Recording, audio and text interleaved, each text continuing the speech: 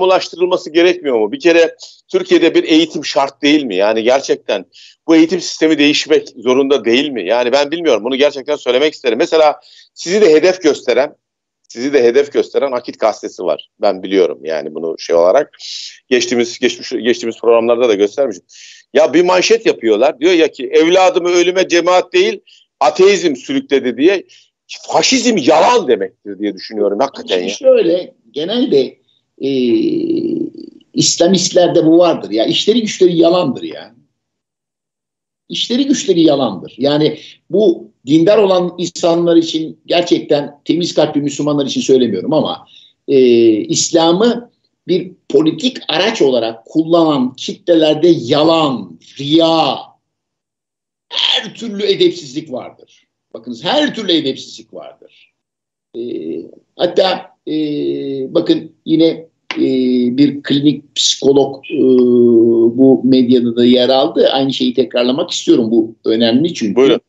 E, diyor ki e, bana yazdı bunu. E, ben de bir yazımda kullandım. İlkokulda bir klinikte çalışıyorum diyor. Devlet memuruyum diyorum. Hatta adını açıklamamıştım ben. Niçin? Çünkü e, insanın başına felaketler getirirler. Bu iktidar e, kötü biliyorsunuz.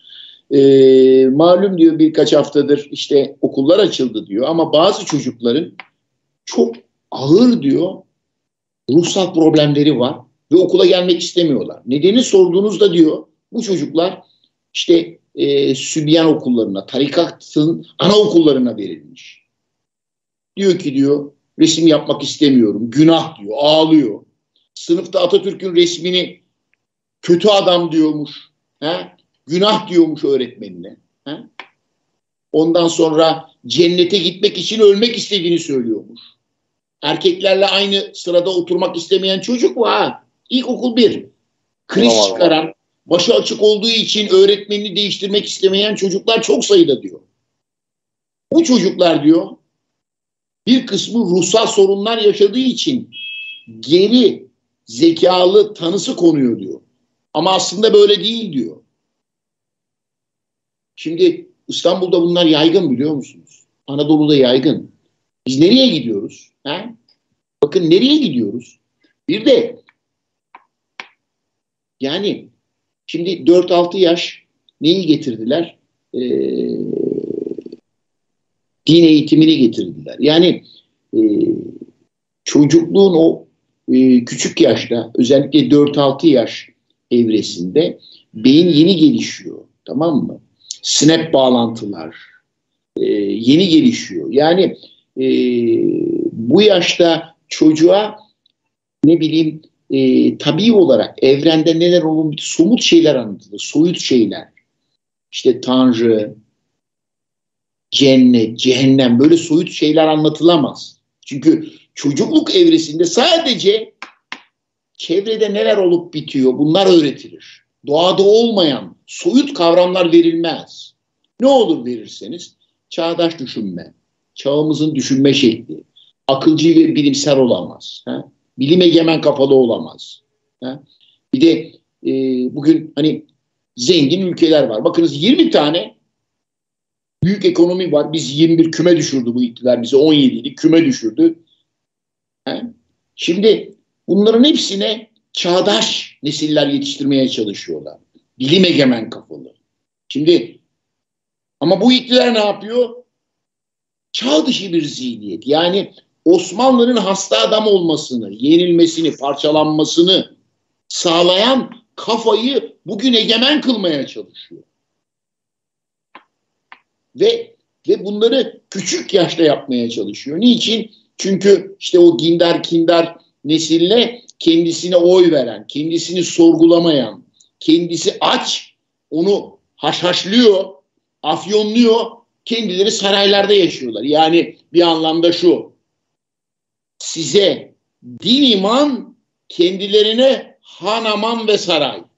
Şimdi çağdaş bir insan sorguladığı zaman bunu kabullenmez, buna itiraz eder, biat etmez.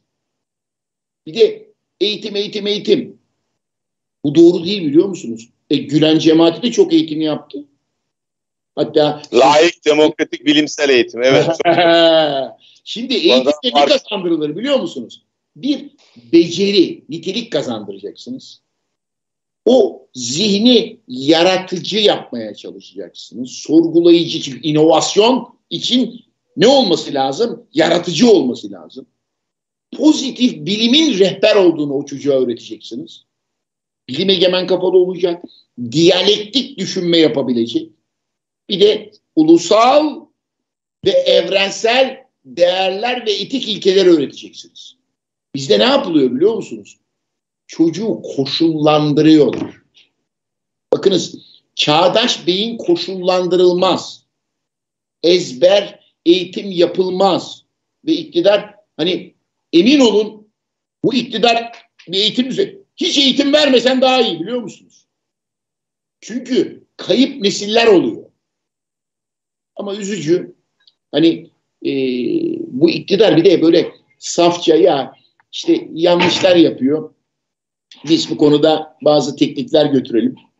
E, onları yaparsa düzelir. İmkansız biliyor musunuz? Türker Bey, Türker Bey bu arada biliyorsunuz e, yani elektrik faturalarıyla gerçekten evlerde yangın var. Yani bu kadar basit ve net. Şimdi ben bugün de onu anlattım. Gerçekten elektrik fiyatlarının arttığı İsveç'te hükümet halka destek paketi açıkladı. Şimdi diyor ki 1 milyon 800 bin haneye 665 milyon dolarlık yardım paketi hazırladı. Şimdi bunun adı ne Türker Bey? Beştepe susuyor. Yok e, bizimkiler de düşman, ortada, düşman, ortada düşman. Yani ne olacak şimdi bu? Nereden vereceğiz? Bu insanlara yazık değil mi? İnsanlarımızı bu hak mı? Ee, yani aklını başına devşirmezsen hak. Ee, bak e, bizimkiler de tedbir açıkladı. Lokmalarını azalt dedi. Elektrik tüketimini azalt dedi. Ondan sonra cennete gitmek, cennete gitmek için böyle zorluklardan geçmek Tanrı tarafından, Allah tarafından sınanmak lazımdır dedi. E, Kazakistan'da neler oldu gördünüz. Ve halk eylemleri yapınca hem hükümet gitti hem de zamları geri aldılar. Aynı şeyi Fransa'da yaptılar. Halk ayağa kalktı. Zamlar geri Bakınız e, siz bunları kabullenirseniz e, yani bunları da e, bir şekilde çekmek zorunda e, kalırsınız. E, bugün iktidarla emin olun Türkiye'nin gün yüzü görmesine imkan ve ihtimal yoktur. Türker Bey aslında Türkiye'de yani yaklaşık 80 milyon üzerinde rakam olarak tam söyleyemeyeceğim ama 83, 84, 84 bin, milyon, milyon insan var. Şimdi bütün bunun e, yani bütün bunların sorumlusu yani ben çok somut bir soru sormak istiyorum gerçekten. Yani ben ekonomistim diyen, ben ekonomistim işte ben okudum bunun kitabını diyen AKP Genel Başkanı, taraflı Cumhurbaşkanı Sayın Recep Tayyip Erdoğan'ın uygulamaları ve anlayışı ve felsefesi değil mi? Yani bunun bedelini biz ödemek zorunda mı Türkiye halkı? Şöyle söyleyeyim. Sorunun sorumlusu çözümün belirleyicisi olmaz. Türkiye'yi ekonomik olarak iflas ettiren bu iktidardır. Türkiye'nin iç barışını bozan bu iktidardır. Türkiye'nin dış politikada yalnızlaşmasının, ötekileşmesinin hem bölgemizde hem yer kürede e, bir şekilde e, demokrasiyle yönetilmeyen otoriter bir rejim olarak değerlendirilmesinin nedeni bu siyasi iktidardır. Bu siyasi iktidarla buradan çıkılmaz yapılması gereken bu iktidarı göndermek demokratik olarak veya ne bileyim gece rüyasında bu iktidarın mümessilleri görür de biz ülkemize büyük kötülükler, fenalıklar ediyoruz. İstifa edelim, ülkemizin önünü açalım. Ülkemizi demokratik, dürüst ve adil bir seçime götürerek e, ne bileyim gelecek nesillere bir hizmet yapalım diye düşünürlerse ne hala. Ama böyle düşünmeyeceklerini biliyorum. E, onun için e, bu iktidarla e, gerçekten e, bu sorunu çözebilmeye imkan yok. Çünkü sorunun sizin de söylediğiniz, ifade ettiğiniz gibi sorunun kaynağı, sorunun müsebbibi, sorumlusu bu siyasi iktidar.